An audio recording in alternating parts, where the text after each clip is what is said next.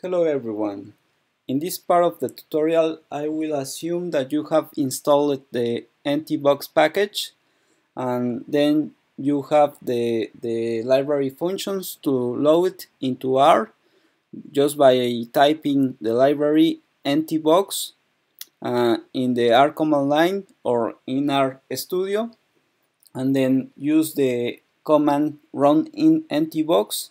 which is going to launch a window that, that looks that looks like this with all the tabs and the functions that can be run inside the graphical user interface.